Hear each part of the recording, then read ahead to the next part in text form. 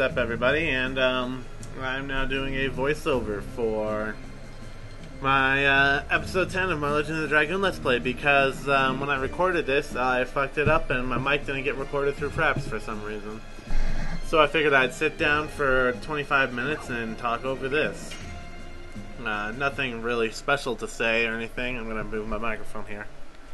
But uh, I feel a little bit bad because I was going to do all of these live recording, you know, record myself as I'm playing the game, but since it fucked up, I really can't do that for this part. I mean, I had commentary, I was talking over this whole thing. I just didn't know until afterwards that my voice didn't get recorded. So, yeah, I don't know. It's kind of lame, but whatever.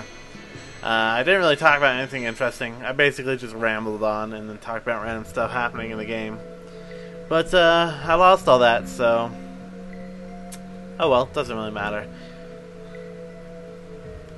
I guess I don't really need to narrate the story either because you can kind of read what goes on. Basically, this whole part, all I did was. Um, ah, sorry. All I did was uh, run around this town, Rohan, Lohan, or whatever, for 25 minutes, just exploring the town. So basically, Shana there, she was stupid and got poisoned because of the dragon's poison or something for some reason. And it only affects her because, of course, there has to be some sort of damsel in distress somewhere in the game.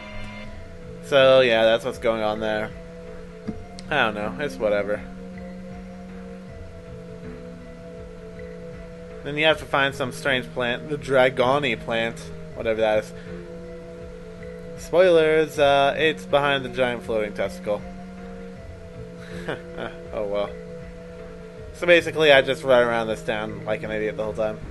And instead of talking about me running around this town like an idiot for the whole time, uh, I really have nothing else to talk about. I'm just glad it's finally summer.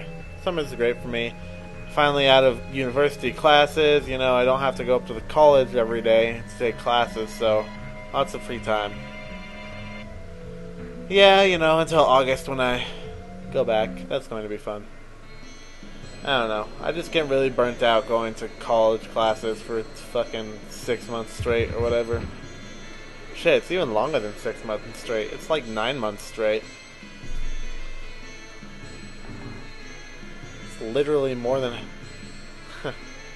it's literally half of my time is taken up just by college classes every year, basically. It's a little lame. So I'm, now I'm just running around trying to find items.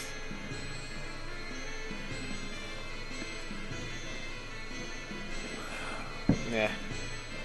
Kind of boring to actually watch me play this game. I mean, I know people do Let's Plays, and people like watching Let's Plays. Hell, I watch people do Let's Plays of games I'm interested in. And I do Let's Plays of games I'm interested in if I played them before, and they're cool games that I think other people will enjoy.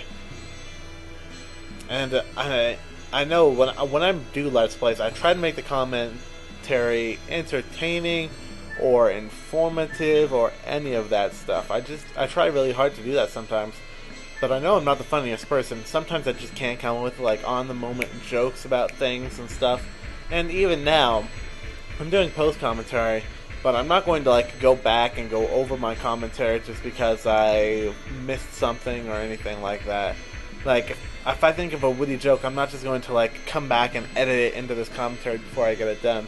Even though uh, you would be able to do that with post commentary, it just it's not something I would do. I'd just rather do commentary all in one take. I'd rather record the game and do the commentary all at the same time, but that didn't work out for this part. So it's whatever. Good thing this part's only 25 minutes long. You don't have to listen to me ramble all too long about it. But yeah, I don't know. Also, just thinking, uh, I feel this commentary could be like if I did something like this, post commentary. I think that there could be some entertaining ways to do post commentary. Not so much this way where I'm just talking over what I'm doing. I mean, it's okay for commentary. At least you can hear something while I'm playing the game, but it's really not the best way to do commentary. It's not really that funny or whatever. So I think if I'm ever going to do post commentary again, it's going to be more like. Uh, me and someone I could riff off of making jokes the whole time or something like that as there's just gameplay in the background. So I think a style like that would work really well, you know, to where I don't have to narrate everything that's going on. in this part, since I just literally run around the town randomly for 25 minutes, it's not really much you'll miss by me not saying anything, live action or anything. It's just no real reason for me to, um, you know, go back. And I was going to redo this with uh, live commentary and just like skip lots of the crap and just do the story uh, parts you have to to get to the next part where my save file was. Because I did have two save files. And I still do have both the save files, but since I didn't know at the end of this commentary, I saved over both of them. And so they're both RE4. So this is literally all the footage I'll have of this part which is a little sad, but I figured I would at least commentar- commentate over it because I recorded the footage. I might as well record some commentary over it. So, yeah, I don't know. This is an RPG. It's one of those, oh, go here, then turn around, go back over there, then turn around, go back over there, sort of things. And that's slightly annoying. Running back and forth in video games is really pointless. Eh, but you know that's just how RPG games go. The new RPG game that came out uh, a little while ago, Kingdoms of Amalur or whatever. I played the demo for that, and you know I was tempted to buy it just because I wanted another game to play at the time. But I didn't buy it because it was just one of those things like it was just very repetitive and everything and uh, well while some repetitive games can be fun you know it's not something I like doing. Repetitiveness in games is okay to a point, I guess. Because some games have to be repetitive, but then you think like a game that's only repetitive, like Street Fighter or any fighter game, those are straight up repetitive because, well, that's the whole thing. It's just, you know, it's a simple game. You sit there and you mash buttons to do things. And then you like throw a punch or you throw a different punch, and that's all the game, that's all there is to the game. Different characters have different punches, but it's still the same thing. But then those games have more appeal than repetitive RPGs sometimes, just because it's, it's not long and tedious. You get in, you have a quick battle, and while you may be throwing the same punches if you play the same character over and over again, you're still having fun. You're into it. You're like, yeah, what's the other person gonna do, and am, am I gonna win? Because you're matching wits multiplayer against another player. Or if you play against the AI, you're kind of like, yeah, make the AI cheat and just try to beat the computer. But then we were playing something repetitive in the way that, oh, you have to run over there and kill 20 boars, and then come back, and then go, go back over there and kill 10 more. Then it's like, oh man, now you're just wasting my life. And uh, there's nothing wrong with repetitiveness in that way, but just boring. I don't know. Some people love stuff like that. Like people got get addicted to World of Warcraft in just every MMO game. I've just never had a personality where I would get addicted to those games just because of the repetitiveness of it. That's literally it. I mean, I know it's a lot to ask for if they're making a big game like that for every quest to have a different and unique thing to do. That's like a huge project to do, and I'm sure if I ever made a video game, that'd be shit tons of work. But that's the thing, like, it just gets boring after a while. I've never had a max level character in World of Warcraft just because I can't sit there and play it for that long. It's just too boring. Then again, people sometimes play that game not just for the boring grind. They play it because, oh, I'm playing with friends. And in that case, I can understand playing it for a long time because it's socializing. But I didn't really have any real life friends that played World of Warcraft a lot, other than one, and it's just like kind of boring.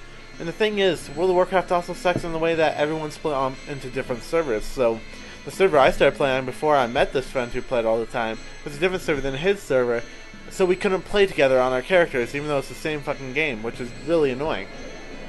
So, you know, you're like, oh, well, then you can just cha- move your character over to a different server. Yeah, well, that's the great idea in theory, but then you have to pay $10 to do it. And, you know, you're already spending $15 a month on their game. It's like, why can't they just make server changes free? I mean, if they made them free, then everyone would do them all the time. There'd be servers that are ghost towns because no one would play on there. So I guess that's why. But still, if I'm already, if I already paid money for this game, I'm paying money to get keep playing this game and get patches, then uh, you know I don't want to be limited who I can play with.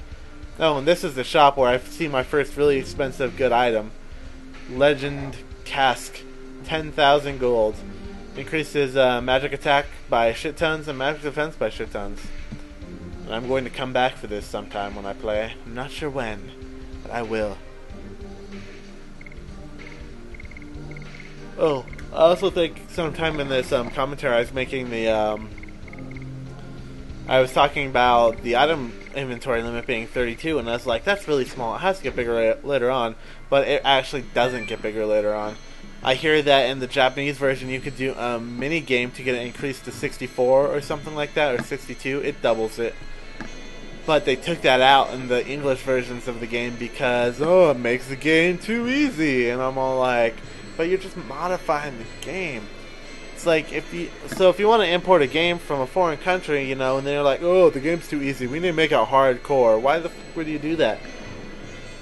I mean, I suppose back then people really didn't fucking care about shit like that, but now it would just piss me off so much.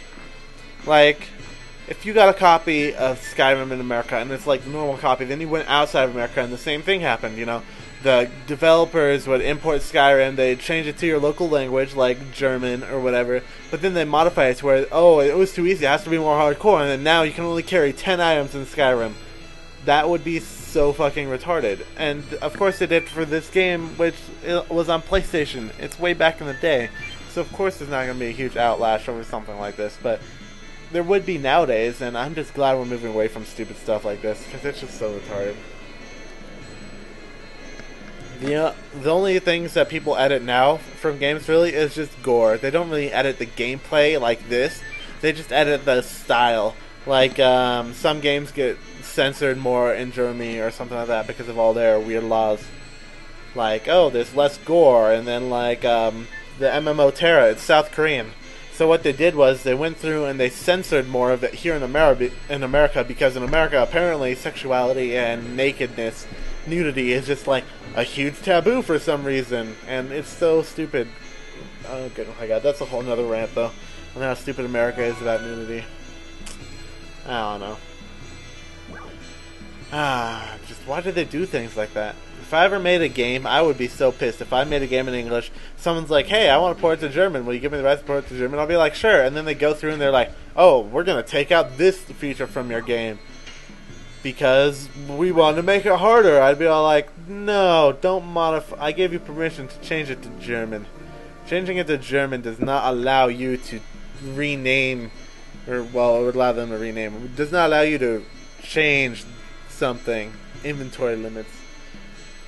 And I just say German because I don't know. That's the first thing that came to mind. Because German had all those strange censorship laws, right?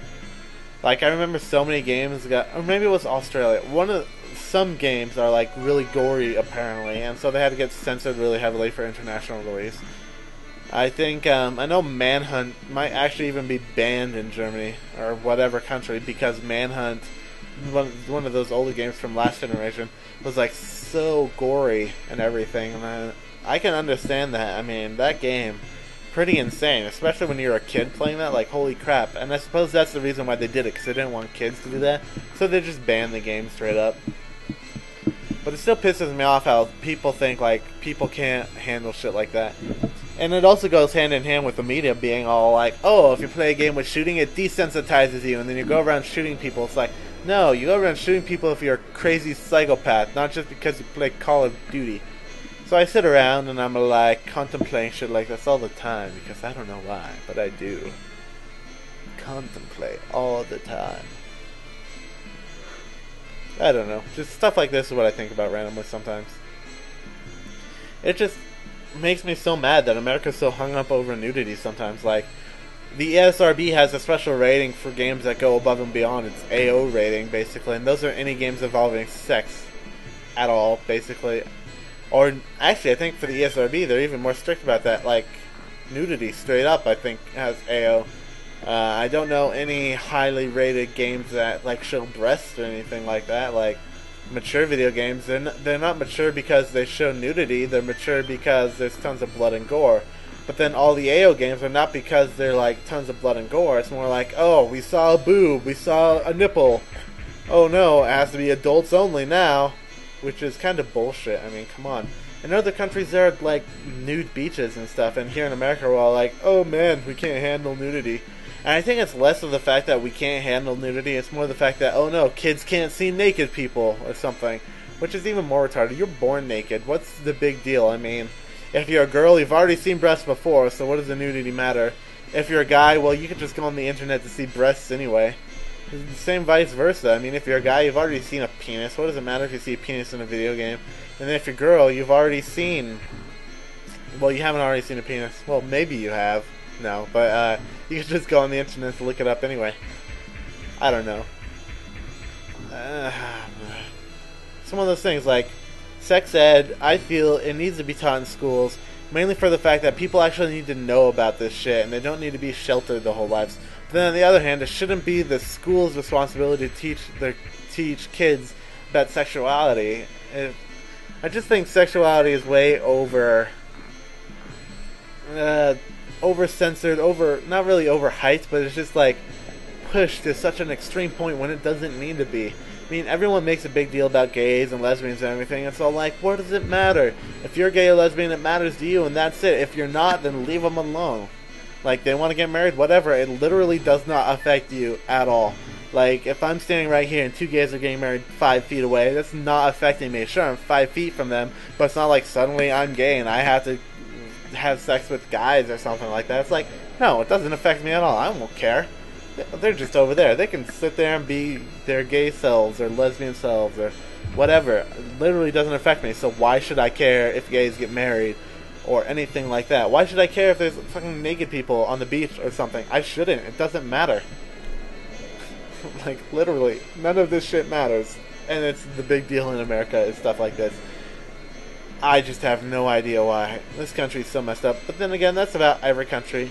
I don't think there's any country that is literally common sense, has enough common sense to do stuff like not care about that shit. I don't know. It's just the way I was raised thinking, I guess, to each his own sort of thing, you know? If it doesn't matter to you, well, if it doesn't affect you, it shouldn't matter to you. Gay marriage does not affect me at all because I'm not gay, therefore it doesn't matter. If I was gay, then it would affect me and I would want to get married. You know, if I was gay, I would want to get married. You know, I'd want to have the same rights as any straight person. That's where I can understand what gays are coming from. I just don't understand the viewpoint of people like, nope, gays can't get married. Marriage is only between a man and a woman. Like, the government has no say in any of that. Why does the government pass laws on that? That is so stupid. Instead, that marriage or whatever should be up to the church. Like, if the Christian church or whatever doesn't want to marry men and men or women and women because it goes against the Christian religion, I'm all for that. I mean, it's your religion. That's the way the religion is. Go for it. But the government should not say that men cannot marry other men just because specific religious groups don't agree with it. And it's a big thing. Like marriage, I guess the basis of the ma- word of marriage was religion anyway. You know, because you're marrying under God or whatever, and you're going to be with your spouse forever. So I guess that's where ideas like um, domestic partnerships and stuff like that came up. But then you still don't have the same rights as married people. It's like for a country that was found kind of founded on freedom of religion and stuff like that. It's kind of you know not so freedom of religion because religious people are stopping people from other religions or from no religions from doing things because they don't want them to, like gay marriage if you're not gay, gay marriage does not affect you. Why do you care if gay people get married? Like Mitt Romney, he's like, I'm totally against gay marriage. It's like, why are you against gay marriage, man? Are you gay? Is it something you need to tell us? Oh my god. Rants everywhere. This video turned into like a huge flippin' rant on just stupid shit for some reason. I don't know why. Should be about Legend of Dragoon, but I really don't feel like narrating exactly what I'm doing all the time, and you can just see it on screen. This is post commentary, and live commentary. I do that stuff all the time. Live commentary, don't talk nearly this much, and the reason is is because I'm focused on playing the game. Like right now, I'm not really focused on the gameplay at all. I'm just making conversation and talking, which I think for someone like me, this kind of commentary would actually be better, just because I'd actually get more content out of the commentary because when I'm sitting there playing games, this happened like mostly during all my other LPs. I focus on playing the game. Oh man, I gotta make sure I don't die. Oh man, I gotta make sure I shoot down this helicopter, like in my Bad Company 2 Let's Plays.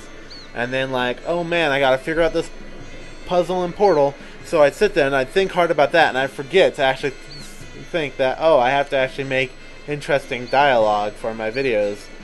And so a lot of my commentary is like really crap because I just can't think and play the game at the same time. Like, I think about the game that I'm playing. I don't think about commentary, so I can't really do both.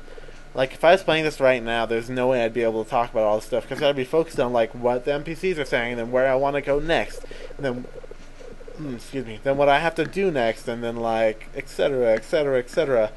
Instead, here I am talking about gay marriage for some reason and my viewpoints on it.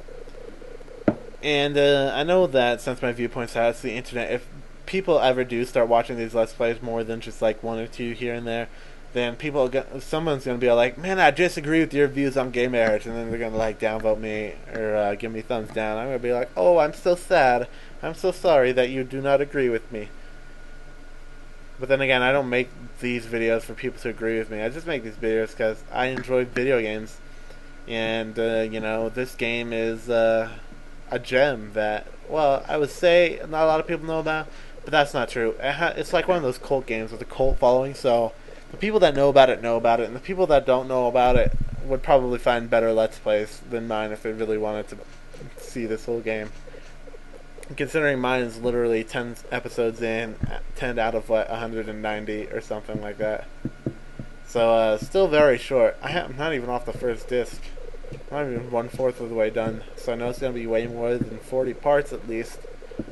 Shit, I don't even know if I'm halfway through the first disc at this point. Yeah, so. Let's say this is still going to be a long series. That's why I'm definitely planning on doing big chunks. Like, if I sit down one day over a weekend when I'm not working, and I decide, hey, I'm going to record eight hours of myself playing this game, which I probably won't sit and play this game for eight hours. Wow, think about that. My commentary fades out after 30 minutes. Think how much it's going to suck after eight hours. Hey man, I never said I was good at commentary, I just said I'd do a let's play of the game. anyway. So if I ever do decide to do like a long session when I'm playing this game, I mean, yeah, sure, I could be like, yes, I recorded eight hours. That's 16 parts. I have 16 days worth of stuff, and uh, I'm not going to. I'm not going to do that and then just sit on the content. Because if I had to do that, this let's play would literally take way too long for me. Like, it's not that I have a short attention span. It's that I have to go. I I still work during the weekdays during the summer. I still have to go back this August I have to go back, and I have to go back to class, and then I'm not going to have time to do this anymore.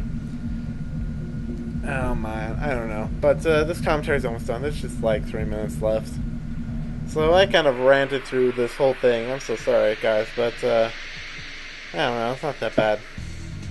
So basically, if you didn't pay attention to the game, just pay attention to me ranting. The only thing that happened was went into town after fighting the boss battle. Shana got sick from the poison. We already knew that from the last parts.